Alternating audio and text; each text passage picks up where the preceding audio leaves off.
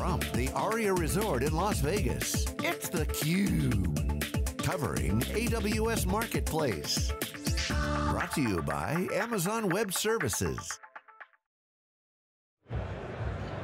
Hey, welcome back everybody. Jeff Frick here with theCUBE. We're at AWS reInvent 2018. I can't wait to get the people count. It's crazy, we're kicking off nine days of coverage over the next three days. We've got three sets, four loca or four sets in three locations, but today we're at the AWS Marketplace and Service Catalog Experience Hub at the ARIA. Come on by, there's no wait for drinks over here. And we're excited to jump into really, uh, uh, you know, not necessarily the tech, but a lot of the process behind the tech. We got first time CUBE's guest, Tolga Tarhan, he's the CTO of Onica. Welcome. Thank you. And with him, Jeremy Bendat, he's the Director of Business Development and Partnerships. Welcome. Thank you, sir. So let's jump into it. What does Onica do before we kind of get into the details?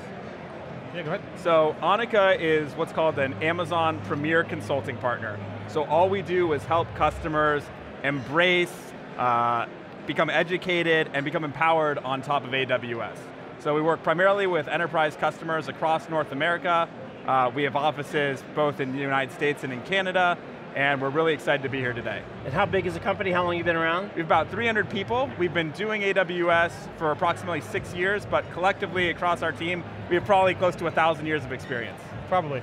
So, so there's so much, you know, kind of FUD out there about, you know, rent versus buy, and, you know, do you do, do Amazon? It used to be security, but I think we've heard, you know, now security is actually more of a tailwind than a headwind for, for Amazon. Right. So, you know, let's, let's break it down. First off, clearly Amazon's doing well. You know, there's a lot of companies built their business on this platform. Right. You guys have as well. What are some of the things when you first engage with a customer, just kind of AWS 101, how they need to think about this differently than what they've been buying and racking and stacking in their data center? So it's, the, the model's different and it's important to not think of AWS as a data center. It's important to embrace the cloud for the cloud. And so um, there's a pretty, pretty common saying about pets versus cattle, uh, and I want to break that down just a little bit. So you've got uh, you know, pets that you love and you care for them, and you've got cattle that are, that are for a purpose. You raise them and, and then you use them for, for, for milk or, or food. And uh, in, the, in the cloud, we want that latter model. We want to be able to spin up an instance, do something, and have it go away when we're done, and then be responsive to our demand. Now this isn't, i I'm not the first one saying this idea on camera, but I think the interesting uh, thing to consider is the evolution. So uh, we went from physical hardware in our data centers to virtual machines in our data centers, and at that leap, we got higher capacity. We could pack more VMs onto one physical server than we could in the physical world, and we also got some benefits about reliability and ease of configuration. Then we went to the cloud with those VMs, and we got cost benefits. We got performance benefits. We got scale benefits. And now, in the last couple years, we've gone from that to containers in the cloud. And now we're getting even higher density, even more flexible deployments, even quicker scale up times. And then the last piece of this that's, that's the newest is now we're going to serverless, where we're not even managing the operating system or any of the details behind it, it's just all event driven. So that evolution, you don't have to go to the end, right? And it's a journey, but it's important to sort of buy into that journey on your way to the cloud and not just think of it as a, as a place to park right. some VMs.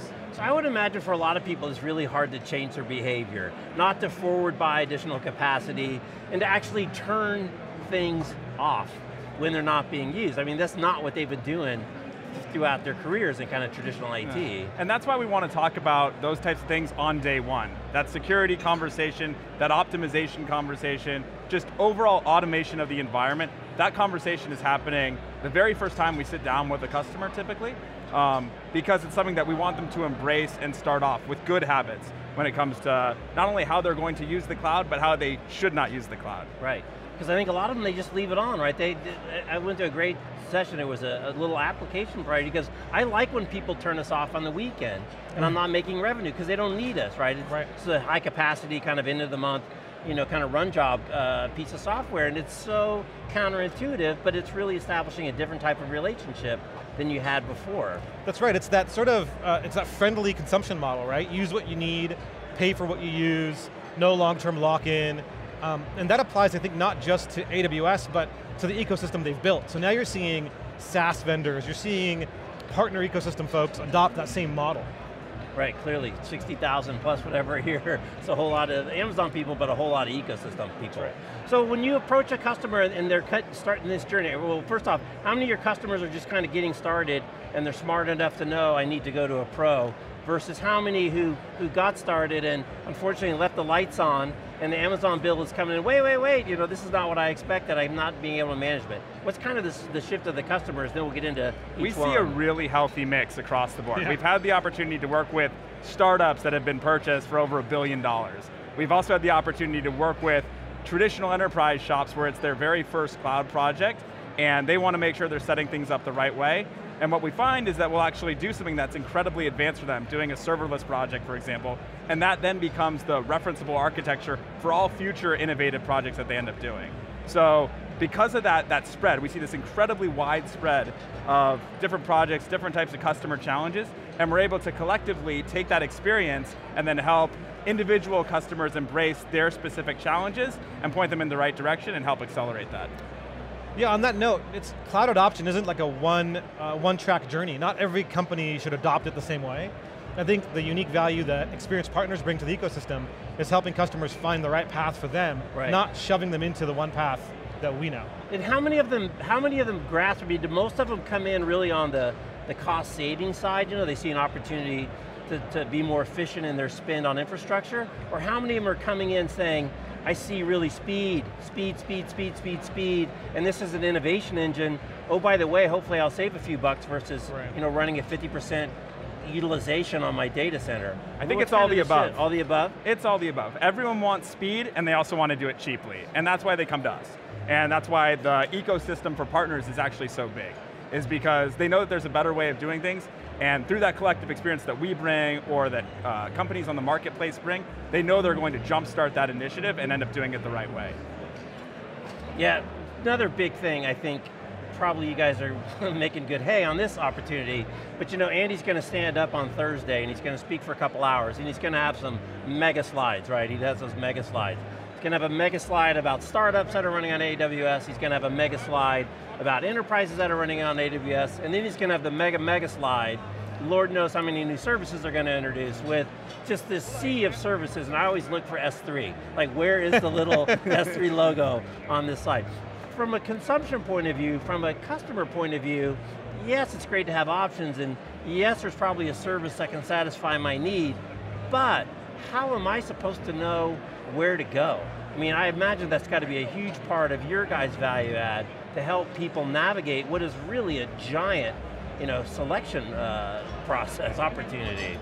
Yeah, I think most customers understand the, the basics now. Like most customers understand how to do compute on AWS, at least at a starting point. But you're right, there's a hundred other services that look and feel like they could help you. And our job as partners is to help you identify the right ones for your requirements. The flexibility that AWS provides is part of the value, but it also means you have to be responsible and educated about how to use it. Right. What's the biggest just foil 101? Like you, know they're all to they're all to step into it. They all do it when people are just kind of getting started on this journey. Don't leave your instances on and walk away.